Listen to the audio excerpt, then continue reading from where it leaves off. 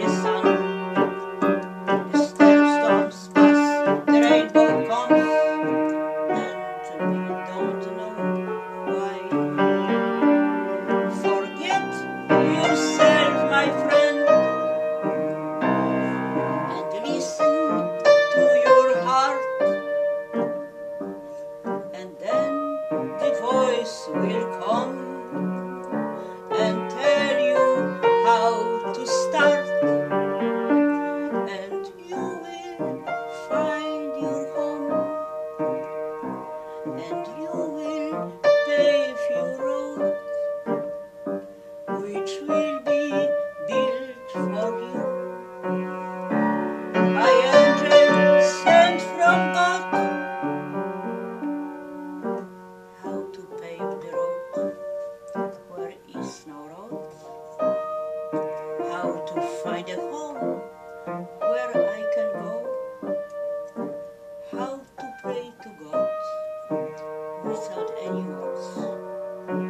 to the